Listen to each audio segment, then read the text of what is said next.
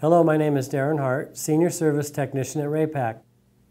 This video will help you perform some basic steps to prepare your heater for startup in the springtime. During this process, if you come across any wires that are damaged, stop and call a service company. Rewiring and any other repair must be done by a qualified technician. Gas equipment can be dangerous if proper caution is not taken. You can find a qualified repair company by visiting our website at www.raypak.com and clicking on the Pool and Spa tab at the far left. Select Service from the drop-down menu. Type in your zip code and select the radius. Then click Update Results. The tools you will need are a drill gun with a Phillips bit and a 5 16 inch nut driver at the lowest torque setting, or Phillips screwdriver and a 5 16 inch nut driver, or a socket with a small ratchet, a flat blade screwdriver, and industrial vacuum. Verify the following before starting. Power has been shut off to the unit. Gas has been shut off to the unit. System pump has been shut off. Inspect the area around the heater. If there are any tree branches, leaves, weeds, etc., clear them away. Debris around the heater can cause many problems, including a place for spiders or rodents to gather. It can also be a potential fire hazard, so it's very important to keep the area clear at all times. Be sure to store all pool chemicals and cleaning products away from the heater. Using your Phillips screwdriver, remove the screws from the louvered jacket top. You can now lift the jacket top up and remove it.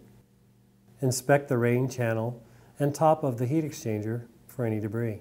With your industrial vacuum, remove any leaves or debris you find. Remove the screws holding the access panels located on the water connection side of the heater. Pull the access panels off and set them aside. Inspect the wires leading to the high limits, pressure switch, and temperature sensor. Make sure the wires are not melted, pinched, cut, or chewed. Reinstall the drain plug into the bottom of the inlet-outlet header, finger tight only. Remove the screws holding the access panel located on the return side of the heater. Reinstall the drain plug into the return header, finger tight only. Using the flat blade screwdriver, remove the knurled thumb screw on the door assembly. Pull the door assembly off and set it aside. Make sure the wires are not melted, pinched, cut, or chewed. Visually check to make sure the wire connections are snug. Inspect the bottom of the heater cabinet for any debris.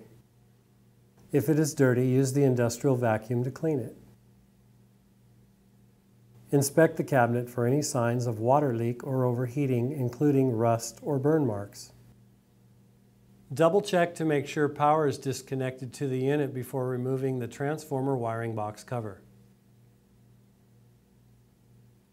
Visually inspect the transformer wires. Reinstall the transformer wiring box cover. Remove the four Phillips screws on the upfront control panel. Pull the top and it will pivot towards you to expose the control box. Check for rodent nests in the control box.